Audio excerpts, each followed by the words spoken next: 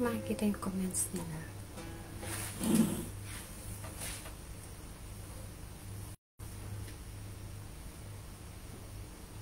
Sa pong mapagpalang umaga sa atin mga kapatid sa Panginoon. Uh, kung naririnig niyo po ako, maaari po bang mag-comment kung uh, ako po ay naririnig, mga kapatid. Mag-comment po tayo. Maganda umaga po. Yan. Maganda umaga, Sister Annalyn. Maganda umaga, Sister Ada. Naririnig po ba ako? Maari po bang malaman ko? Amen. Praise the Lord. Ayan. Praise God. Good morning, Sister Rona. Good morning, Sister Amy. Blessed good morning, everyone. Uh, ako po ay si Pastora Jilly ng Door of Faith uh, Dubai, United Arab Emirates. Magandang umaga, Sister Mabel, Sister Erlinda, Sister Margie. Pagpalain kayo ng Panginoon. Yan. Salamat, Sister Rona. Yan, naririnig daw po ako. Yan, bago po tayo mag Amen. Amen, Sister Ameline. Magandang umaga po sa inyong lahat. Ayan, kayo po ba yung mga nasa Pilipinas? Meron po ba diyang mga ano rin, yan, sa ibayong dagat? Ah, opo daw, sabi ni Sister Brianna. Ayan. Salamat po. Good morning, good morning mga kapatid sa Panginoon. Ayan. Dito po sa amin do, sa Dubai ay halos madaling araw ho ngayon. Alauna pa lang ho, alauna imedya ng madaling araw. Yan. Praise God. Sister Marie Chris, Sister Luz Biminda, salamat po sa Panginoon sa pag-join ninyo. Uh, Brother er, uh, Edgardo. Sige po, mamaya na lang po, Brother Joshua. Ayan, bago po tayo magsimula sa ating uh, pag-aaral, ay awitan po muna natin ang ating Panginoon. Awitin po natin yung above all. Above all. Praise the Lord. Hallelujah. Purihin natin ang Panginoon. Sambahin natin ang Panginoon ngayong umagang ito. Praise God. Above all powers, above all kings, above all above all nature and all created above all wisdom and all the ways of man. You were here before the world began, above all kingdoms, above all kingdoms above all thrones, above all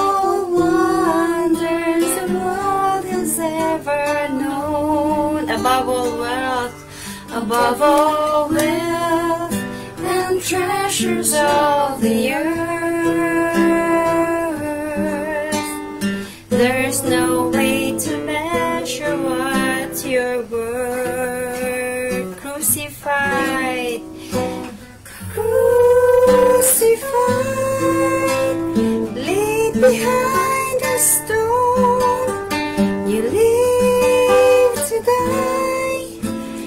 rejected and alone, like a rose trampled on the ground.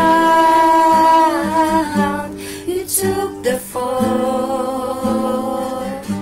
and now you reign. now you reign, Yeshua, Yeshua, above all powers, powers, above all kings, above all nature and all created things, nature and all created things, above all wisdom, above all wisdom, and all the ways of man. You were here, you were here before the world began. Above all kingdoms, above all kingdoms, above all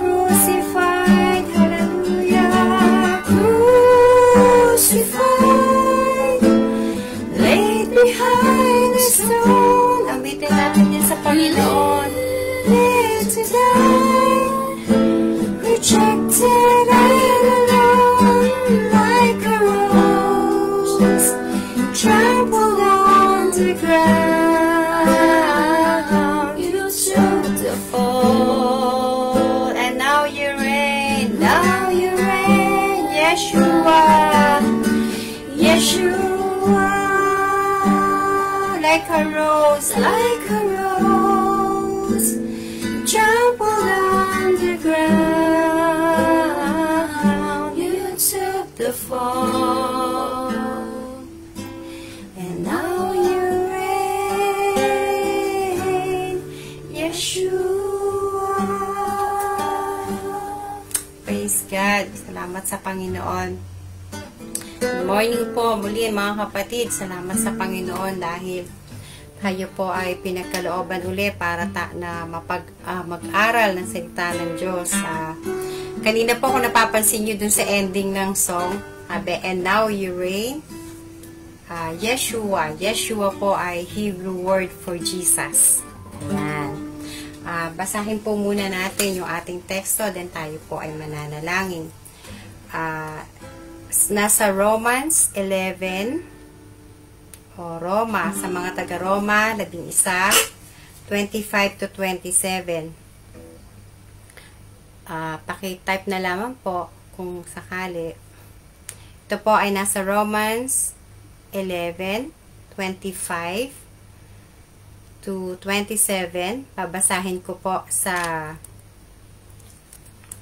basahin ko po siya sa anong tawag dito? Ah, ASND yung ang salita ng Diyos version. Yan po. Sabi po dito sa 25, mga kapatid, nais kong malaman ninyo ang isang katotohanan na ngayon ko lang ihahayag sa inyo para hindi maging mataas ang tingin nyo sa inyong sarili. Ang pagmamatigas ng mga Hudyo ay hindi panghabang panahon. Ito'y hanggang makumpleto lang ang kabuuang bilang ng, ng mga hindi Hudyo nasasampalataya kay Kristo. Pagkatapos niyan, maliligtas ang buong Israel, gaya ng sinasabi ng kasulatan. Magmumula sa Zion ang tagapagligtas, aalisin niya ang kasamaan sa lahi ni Jacob. Gagawin ko ang kasunduang ito sa kanila sa araw na aalisin ko ang kanilang kasalanan. Pagpalain ng Diyos ang pagkakabasa ng kanyang salita. Tayo po'y manalangin. O Diyos naming Ama, nagpapasalamat kami sa bagong buhay, sa bagong pagkakataon, sa bagong umaga, Panginoon, ay pinagkaloob mo sa amin upang minsan pa ay mag-aral kami ng salita. O Diyos, pakalinisin niyo, Panginoon, ang inyong mga anak, Panginoon. Lord, dalangin po namin na anuman, Panginoon, ang mga bagay, Panginoon, na makakabala makakahinder, Panginoon, magiging balakid, Panginoon, upang matanggap namin, Panginoon, ang inyong pagpapala, matanggap namin, Panginoon, yung pagtuturo, ang inyong pagtutuwid, ang inyong pag-ibig, Panginoon, sa amin ngayong araw na ito. Ay sinasaway namin, Panginoon, ang mga kasalanan na ito, Panginoon, hinihingi namin sa inyo ng tawad at hayaan nyo, Panginoon, na maging malinis kami sa inyong harapan, Panginoon. And Lord, I pray na samahan po ninyo kami sa aming pag-aaral, Lord, Hayaan niyo, Panginoon, na ano man ang aking sabihin ay manggaling sa inyo, maging kalakasan, Panginoon, maging hamon sa bawat isang nakikinig, O God. Lord, I pray unto you, lalo na, Panginoon, yung mga papasok pa lamang, O God, uh, those who are trying to log in, Panginoon. Uh, I hope makarinig din sila at umabot sila, Panginoon. And Lord, dalangin po namin na mapagpala ang bawat isang makarinig ng inyong salita ngayong umagang ito. Sa marami sa pangalan ni Jesus. Amen. Good morning, mga kapatid uli. Ah, salamat po sa Panginoon. Ah, actually, yung pag-aaral po natin yun is mostly uh, a testimony. Ah, Brother Michael, eh, nakita ko na Sister Merly, magandang maga sa inyo. Sister Ines, ayan. Glenn. Praise God. Hindi ko po alam kung saan kayo galing pero wala po ako nakikita pa na mga taga-UA. Tulog pa po kasi kami. ayan uh, salamat sa Panginoon. Uh, alam ho ninyo, uh, I had the chance to go to uh, Israel last uh, uh, beginning of August of this year. Uh, naka-join po ako sa isang, uh, ako po at saka yung aking daughter-in-law, si, uh, si Ate Ken, ay na we were granted na maging um, to join a missionary trip dun po sa Israel. At alam ho ninyo, kung mapapansin ho ninyo dun sa binasa nating verse, sabi po dito ay uh, nais kong malaman ninyo isang katotohanan ang pagmamatigas ng Hudyo ay hindi panghabang panahon. Ito'y hanggang makumpleto lang ang kabuunang bilang ng hindi Hudyo, mga hentil po, mga katulad natin. Alam ho ninyo na experience po namin doon yung, yung, yung sinasabi dito ni Pablo, yung pagmamatigas ng mga Hudyo. Alam ho ninyo, when I started uh, sa Vision School, ang tawag po nila, dito po uh, operational uh, sa Gulf o sa mga bansang katulad ng UAE, Saudi Arabia, Bahrain, ito pong magkakatabing bansa. At meron din po galing sa Pilipinas. Uh, I was encouraged to join to learn about uh, yun nga pong uh, missionary work para sa mga Israelites. Alam ho ninyo, nung una akong uh, uh, sasali, uh, I was, I was I was given po yung iba't ibang country po kasi yun na pupuntahan. So, hindi po puro Israel. Uh, marami pong countries dyan ay mga Muslim. So, ang ang goal po talaga when they started the movement ay para po uh, evangelize yung mga Muslim countries kasi po talagang sila ay almost zero Christian communities. Uh, so, ang una po ako ay na-assign ay to go to Iraq Siyempre, sa una, parang sa Iraq, naku, ibabala ako sa kanyon. Pero, after few uh, weeks, kasi po medyo matagal din yung pag-aaral, umabot din kami halos ng apat na buwan, uh, paglilimang buwan. Nalipat po ako sa, saan pa ba? Uzbek, Andes, Uzbek. Ah, tama, sa Uzbekistan, uh, which is also a Muslim country. Turkey. Kyrgyzstan. Kyrgyzstan. Ayan, kung saan-saan. And then, at the end, napunta rin po ako sa Israel kasi doon sarado pa. So, napunta ako sa Israel.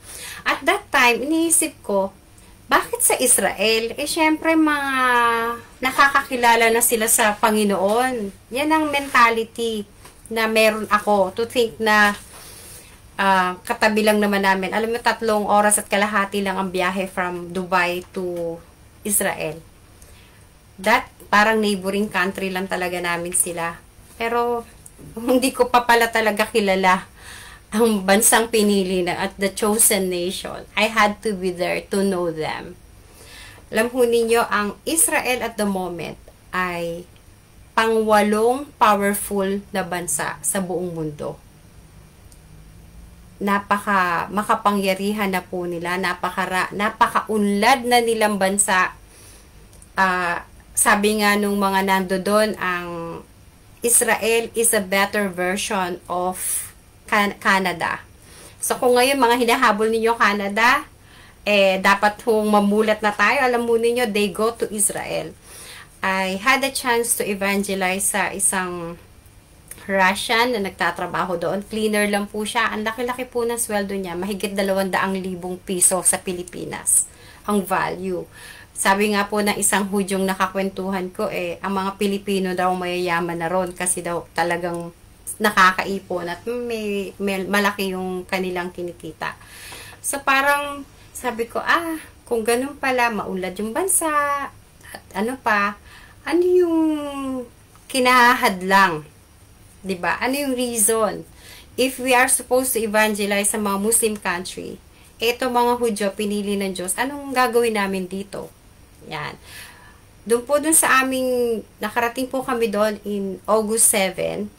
Ang tema po ng aming uh, pag uh, daily for 14 days. Umaga, nag-aaral po kami ng lengguwahe ng Arabic at saka ng Hebrew. At tinuturoan po kami ng mga kultura sa Israel. So, mamaya nila po yan. Siguro sa mga susunod. So, hindi ko naman, hindi naman po yun talaga yung topic ko alam ho ninyo, it was, it was, uh, a very humili uh, parang humbling experience from the Lord na makita mo yung yung Holy Land pero at the same time, experience mo kung ano ang meron doon.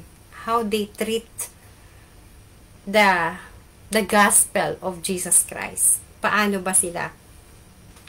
Uh, doon po dun sa aming pinuntahan ay hindi lamang po talaga kami na assigned sa Israel. We were also assigned sa Palestine kasi po sila ay parang talagang parang kumbaga ang pagitan ni bato lang. parang wall to wall lang po talaga sila ang Palestine. Uh, sa Palestine po, ang experience namin is is really good. Napaka-open po ng, ng Palestine. Ang ang idea no niyo siguro pag sinabing Palestine katulad ko rin sabi ko ba't naman doon? Ba't namin kailangan puntahan din yun? Of course they also need the gospel. And they are very uh, receptive people. Napaka-hospitable nila. At sa totoo lang po mas marami po ang tumanggap sa Panginoon sa Palis sa Palestine kesa po nung nandun kami sa mismong Jerusalem o Tel Aviv o Askelon o kung ano pa yung mga lugar doon. Napaka napaka sikip ng ng way for them to recognize Jesus Christ as the Messiah. Hindi po talaga lahat sila nakakapag-English. So, nag-aral talaga ng Hebrew para ma-present nat, nat na ng mga misyonaryo yung, yung gospel. Alam ho ninyo, yung, yung land of uh, both Palestine at Israel. Alam mo ninyo katulad ng yung Holy Land po ay para nilang napaghatian ng di nila sinasadya or something. Dahil nga dun sa mga pag-scattered ng mga Israel eh nabakante yon hindi totally nabakante pero inoccupy sila ng mga Palestino. And the Palestines eventually katulad ng alam natin ngayon pinag-aawayan nila yung lupa kung sino talaga. Kasalukuyan, katulad ng Bethlehem, na dapat talaga siguro ay sa Israel, ay nasa, nandoon sa Palestine. Nandoon, pupunta ka doon sa Palestine o Palestine para mapuntahan mo halimbawa yung, yung nativity o yung birth of Jesus Christ. So, in other words po, there are two countries na talagang entirely different.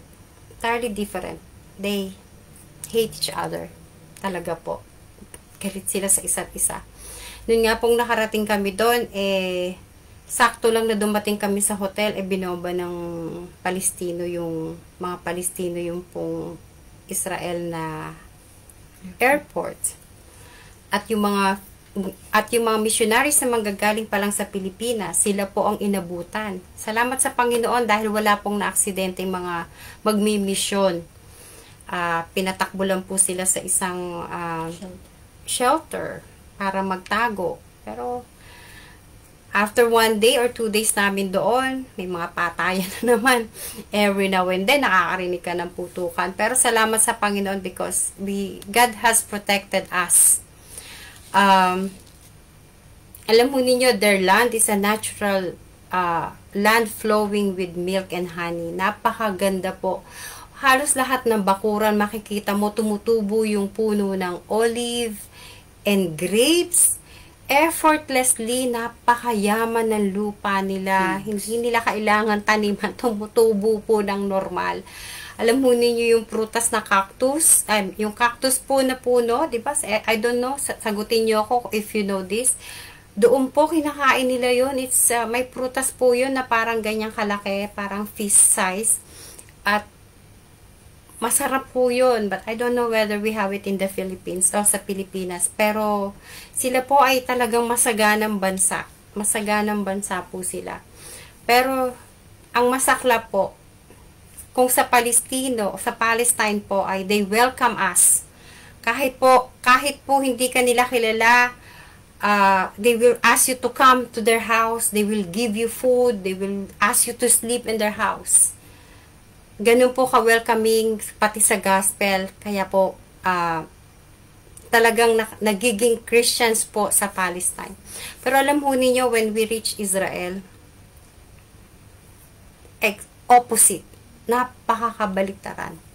we are taught to greet, uh, of course, sa Arabic may marhaba, yung mga ganyan, sa Balker. Pero pagdating po sa sa sa, uh, sa Israel, we are greeting uh, shalom. Yan. Peace be with you. Shalom, shalom, shalom. Alam mo ninyo, hindi ka man lang nila sasagutin. Iisnabing ka nila, tataasan ka nila ng kilay. Kung meron mang sasagot sa'yo, yung mga kabataan, yung medyo modern na sila pero yung mga, lalo ni naka-costume, alam mo, naka-itim na itim, tapos may mahabang sombrero, hindi ka talaga nila papansin, ay mahabang patilya. So, nagparang pati kami, napopobia kaming lapitan sila kasi they, they, they will not really accept. And, ito pa po talaga, they have really, they, I have no words to express ko ano yung masasabi ko, but they they don't accept. They even hate the cross. They, they don't want to hear Jesus. So, lahat po kami, hindi namin, mag-approach kami dun sa mga medyo secular Jew. O yung medyo modern Jew. Pero at one point, sabi ko, Panginoon, mag-approach ako ng, ng tradition. Yung traditional Jew. Yung ano magiging reaction niya. So, binati ko. Last day na namin yon Normally po, kapag ka nahuli kang ganun, eh, madedeport ka na. Sabi ko, di ba, last day ko na, di pag na-deport ako, di, nagawa ko pa rin yung purpose ko. So, I approach that uh, very Jew, hudyong-hudyong nakikita nyo sa TV, nakaitim na nakaitim. Sabi ko lang sa kanya, uh, Shalom, uh, just, uh, I gave, uh, ano, may, may sinasabi po kami, meron po kaming mga lingwahe. Uh, kalimutan ko na, but this is like a gift. Nagbibigay po ako ng tracks. And, yung tracks po is of course for Jesus Christ. Nung paalis, ayaw niya, ay, syempre ayaw po niya. So, ang sinabi ko sa Hebrew ay, Jesus Christ is my Messiah. He is my God. Alam ho ninyo, talagang nanlisik ang mata niya sa akin at hindi niya talaga tatanggapin. At sinumbong niya pa ako dun sa mga kakilala. Mga kaano niya, kaano dun mga kasama. And alam ho ninyo, we were even taught there na kapag ka nahuli ka, sasabihin mo na lang eh, sorry, I'm a tourist. nagamit, nagagamit po talaga namin yan. At another point, meron na naman po kaming shera na Jew pero bystander lang siya, so hindi siya naka-uniform, tawag doon ay, hindi nga siya naka-costume, tawag po doon ay secular Jew. Nung tumatanggap na po siya sa Panginoon, talaga pong, kasi apat-apat pong group yan eh. So may nag-share, may look out, may nag intercede Nung tinatanggap niya po niya yung Panginoon, we're just following Hebrew na pagtanggap. Kasi hindi rin naman, hindi kami makapagsalita. In-approach po kami ng isang kabataan and na na na alam niyo na yung yung tinatawag naming Ultraman. Talagang ultra, talagang sobra-sobrang hudyo. Talagang Old Testament lang siya. Walang Jesus Christ. Jesus is nothing. They, he doesn't exist. He never existed. Ganun ang kanilang pananaw. At sinabihan niya kami, that is not good. Don't do that. Go. And then we just said, sorry, we are tourists. and for a while, hinayaan niya kami at uh, tinatago namin yung ginagawa namin but we had to lead the one Jew to acceptance of Jesus Christ. At tinanggap po niya ang Panginoon. Salamat sa Panginoon. Alam mo niyo kung ano yung gusto kong iparating sa ating lahat, mga kapatid. Ito pong mga pinili ng Diyos. Pinili ng at ng mga, I don't know, piniling lahi. The chosen nation. Minsan masakit po talagang tanggapin that they are the ones who are really hardened. Hardened. Matigas po yung kanilang puso. Napakaraming situations po na talagang makita mo they they have a holy land and they don't see kasi ang hinihintay talaga nilang Messiah, hanggang ngayon, pag nakarating po kayo doon yung Wailing Wall, doon po nagdarasal sila. Ganito po sila magdasal. Inuuntog po nila yung kanilang ulo doon sa... They're asking for the Messiah to come. Nakakaawa po yung kanilang uh, pagpupursige sa wala. Dahil dumating na ang Messiah, they even crucified the Messiah. They don't know that. They are really blinded. Siyempre, hindi po tayo lahat makakarating sa Israel. But we can pray for them. Pag-pray po natin yung bayang pinili ng Diyos. Sa bandang huli, talagang meron silang special role na gagampanan. According yan sa Revelation. And even here sa binasa natin sa Romans 11.25. I may have to share some more sa susunod na time kasi nakita ko alas mag-aalas 6 na ng maga. But I would like us to have the heart, the compassion of the heart, broken-hearted of Jesus Christ, of God the Father para sa mga Jews na they really have even, sa totoo po, yung kanina pong sinasabi namin Yeshua, There is no word Yeshua to them. It's erased in their vocabulary. Wala. Yeshu lang. Yeshu. What is Yeshu? Forgotten. Removed. Never existed. Hindi nila sasabihin ang salitang Yeshua dahil walang ganong salita sa kanila. Their head, according to the school, according to the world, We know Jesus, they know Yeshua, but they extremely don't believe that Jesus was the Messiah who came and died for the sins and to save the world.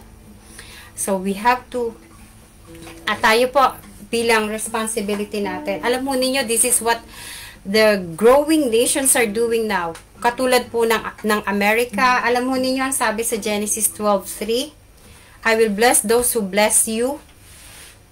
Nakikinabang po dyan yung United States at iba pang maraming bansa na tumutulong lately. Uh, United Arab Emirates mga 2 years ago has opened friendship with Israel. Siguro less than 6 months, uh, Saudi Arabia made friends with Israel.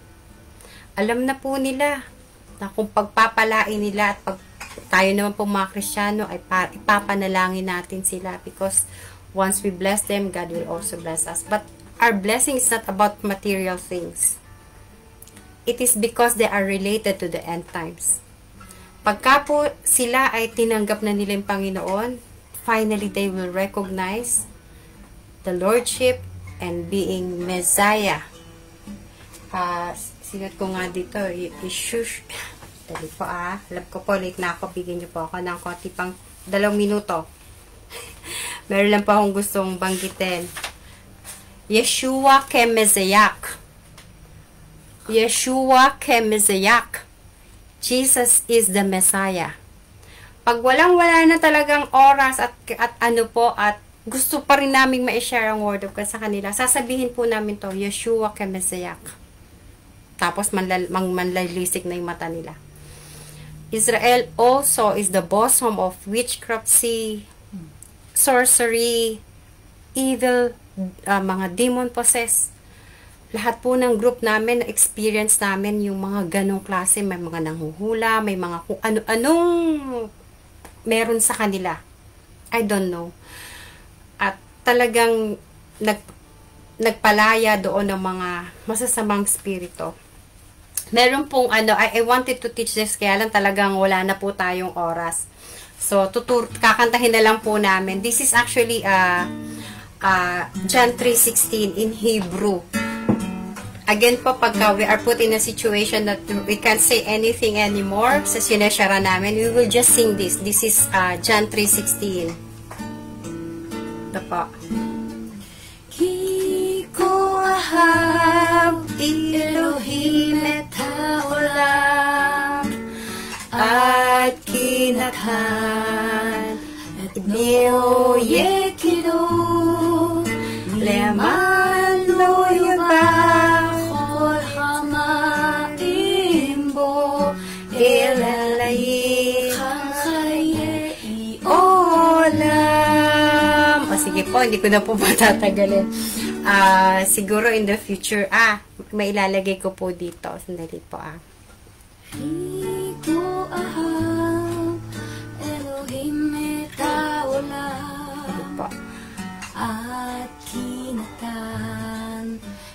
Although you can search this in YouTube. Ayan po. Salamat po sa Panginoon. Ah, siguro talagang katulad po ng inilagay ko dito, ah, let's pray for the nation of Israel. Yung alam nating mga Palestino na talagang kala natin, mga matatapang matitigas, God is calling them. Pero ang mga Israel, katulad ng sinabi sa Romans 11.25, they really have hardened their heart galit sila na ang, ang mesayang nire-recognize natin ay pinako lang sa krus. Hindi kasi ganun yung ine-expect nila because they are into material prosperity, into material power. Katulad ng ginagawa nila ngayon. They want to be that. Number one. Hindi yung alam niyo yung nangyari sa kanila, they were scattered, they were killed by Hitler and all. That's the reason they were like that ipag-pray natin sila sa Panginoon. Ilapit natin sila sa Panginoon every time po na mayroon tayong mga prayer meetings and prayer time natin. Sige po. Time na po kaya manalangin na tayo.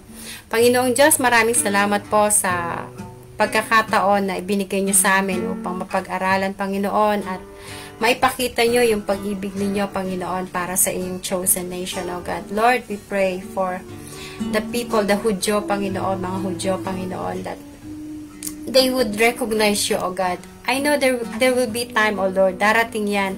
But I pray, O God, na ngayon, Panginoon, let them see you as God and as let them see you as the Messiah, Panginoon.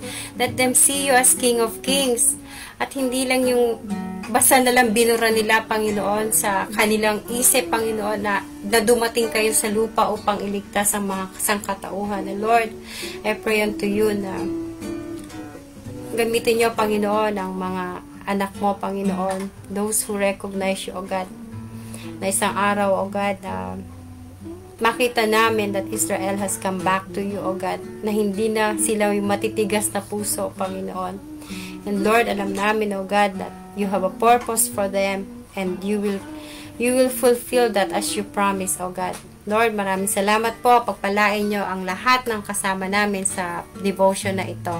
Ingatan po ninyo at sa araw na ito, Panginoon, ay maranasan namin ang pagbuhos ng iyong biyaya at pagpapalang spiritual sa bawat isa sa amin. Kagalingan sa mga may sakit, Panginoon. Sinasaway namin ang mga sakit na nararanasan, Panginoon, ng iyong mga anak sa pangalan ni Jesus. O God, palayain nyo kami, Panginoon, sa anumang sakit na nararanasan namin sa katawan. And Lord, I pray to you, meron din kami, Panginoon, mga unspoken prayer requests. O Diyos, alam ko, Panginoon, na kayang-kaya niyong abutin, Panginoon, ang iyong mga anak, mga pangangailangan financial, Panginoon. Hindi ko alam, O God, but Ikaw, O Lord, alam mo, Panginoon, ang puso ng bawat isa.